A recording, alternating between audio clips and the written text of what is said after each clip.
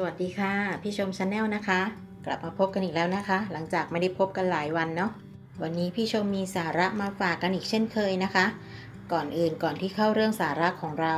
วันนี้ใครเข้ามาแล้ว พี่ชมฝากกด subscribe กดไลค์กดแชร์ให้ด้วยนะคะ แล้วก็อย่าลืมกดกระดิ่งแจ้งเตือนนะคะ เพื่อที่จะได้ไม่พลาดการอัปเดตคลิปใหม่ๆ ค่ะ ขอบคุณค่ะ สาระของเราวันนี้ พี่ชมจะมาชวนทุกคน เปลี่ยนสีห้องแชทใน Messenger นะคะ แล้วก็เปลี่ยนตัวอีโมจิ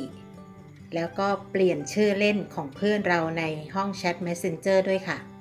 การเปลี่ยนทั้ง 3 อย่างนี้มันเป็นการสร้างสีสันในห้องแชท Messenger ของเรานะคะ เป็นการสร้างสีสันในการที่เราจะคุยแชท Messenger กับเพื่อนของเราหรือว่ากับคนในครอบครัวของเรานะคะ ใครสนใจ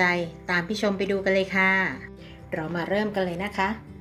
กดเข้าไปที่แอป Messenger เลยค่ะ พอเข้ามาแล้วนะคะ การเปลี่ยน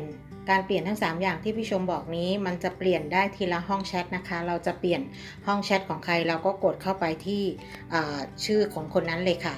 อย่างสมมุติว่าพี่ชมจะเปลี่ยนห้องแชทห้องแชทนี้นะคะะกดเข้าไปเลยนะคะ พอกดเข้ามาแล้วนะคะ กดเข้ามาแล้ว เราก็กดที่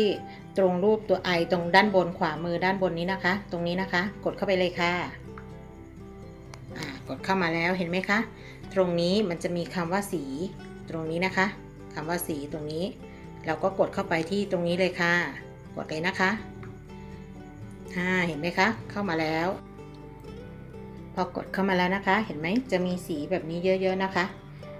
แถวด้านบนนี้ค่ะ แถวด้านบนตรงนี้นะคะ มันจะเป็นแบบไล่สีนะคะ เราก็เลือกเลยนะคะ เราจะเอาสีไหนแบบด้านล่างนี้จะเป็นสีพื้นๆนะคะ ด้านบนก็จะเป็นแบบไล่สีลองเลือกดูนะคะ นี่นะคะ สมมติว่าเราเลือกเห็นไหมมันก็จะเปลี่ยนสีแบบนี้นะคะ หรือว่าเราไม่ชอบเราจะเปลี่ยนเป็นสีอื่น เราก็เลือกเลยนะคะ ว่าเราจะเอาสีอะไร สมมติว่าจะเอาสีนี้ก็กดเลย เห็นไหมก็จะเปลี่ยนสีแบบนี้นะคะ แล้ว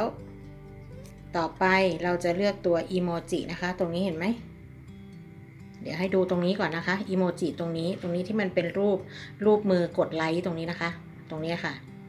ตรงขวามือด้านล่างนะคะ ตรงนี้ เดี๋ยวเราจะเปลี่ยนตรงนี้เป็นอีโมจิตัวอื่นนะคะ เราก็กดที่เดิมค่ะ ตรงนี้ตรงรูปตัวไอตรงนี้นะคะ ด้านบนขวามือค่ะ กดเข้าไปเลย เห็นไหมคะ ตรงนี้ตรงคำว่าอีโมจิอีโมจิตรงนี้นะคะ เราจะเปลี่ยนมันใช่ไหมคะ เราก็กดเข้าไปเลยค่ะ อ่า เข้ามาแล้วก็จะมีตัวอีโมจิให้เราเลือกนะคะ เลื่อนดูได้เลยว่าเราจะจะเอาแบบอีโมจิตัวไหนนะคะ จะเอาแบบไหนเลือกเลือกเลือกได้เลยนะคะ เลือกเลยว่าเราจะเอาตัวแบบไหน สมมติว่าพี่ชมจะใช้ตัวนี้นะคะ ตรงรูปหมูนี่นะคะ น่ารักน่ารัก กดตรงนี้เลย เห็นไหมตัวอีโมจิตรงนี้ก็เปลี่ยนไปแล้วจากรูปมือที่กดไลค์ก็เป็นรูปหมูตรงนี้นะคะ เปลี่ยนไปเรียบร้อยแล้ว แล้วต่อไปขั้นตอนต่อไปนะคะ เราจะมาเปลี่ยนชื่อเล่นของเพื่อนเรานะคะชื่อชื่อมันก็จะมีแบบที่เขาตั้งไว้นะคะ ตอนแรกจะมีแบบที่เขาตั้งไว้ ต่อไปเราจะไปเปลี่ยนชื่อเล่นในฐานะที่แบบว่าเราแบบเหมือนรู้จักกันอย่างนี้นะคะ สมมติว่าเป็นคนในครอบครัวเป็นเพื่อนสนิทอะไรอย่างนี้ เราจะตั้งชื่อเล่นให้เขาที่แบบว่าเราจะจำได้ง่ายๆอะไรอย่างนี้นะคะ ตรงนี้ตรงคำว่าชื่อเล่นนะคะ ตรงนี้ชื่อเล่นกดเข้าไปเลยค่ะ ห็นไหมคะกดเข้ามาแล้ว เราก็จิ้มไปที่ชื่อของเขาตรงนี้นะคะ ตรงตั้งชื่อเล่นตรงนี้เลยค่ะ กดเข้าไปเลย เห็นไหมมันก็จะขึ้นแบบนี้ เราก็ลบออกแล้วเราก็พิมพ์ตั้งเข้าไปใหม่เลยนะคะ เราก็พิมพ์เลยเราจะตั้งชื่อว่าอะไร อย่างนี้พี่ชมจะตั้งชื่อแบบนี้นะคะ แบบนี้นะคะ พอเราพิมพ์แบบนี้เสร็จเราก็กดคำว่าตั้งค่าตรงนี้ค่ะ ตั้งค่าด้านล่างขวามือนะคะ กดเลยค่ะ กดเรียบร้อยเห็นไหมคะ ชื่อมันก็เปลี่ยนไปตามที่เราพิมพ์ไปเมื่อกี้นะคะ ที่เราตั้งไปเมื่อกี้ สมมติว่าเราจะไม่เปลี่ยนเราจะเอาแบบเดิมแล้วก็เปลี่ยนกลับได้นะคะ สามารถเปลี่ยนกลับได้ก็กดที่ชื่อเหมือนเดิม แล้วเราก็พิมพ์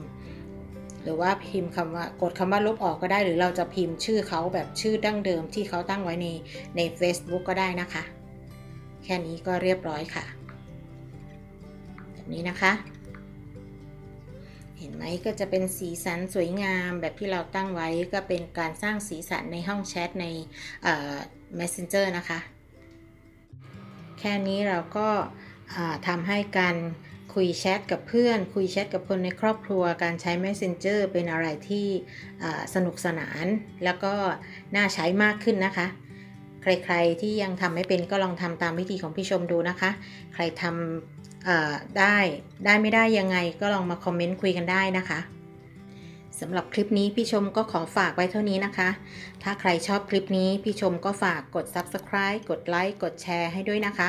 แล้วก็อย่าลืมกดกระดิ่งแจ้งเตือนนะคะ เพื่อจะได้ไม่พลาดการอัปเดตคลิปใหม่ๆ ค่ะ ไว้พบกันใหม่คลิปหน้านะคะ สวัสดีค่ะ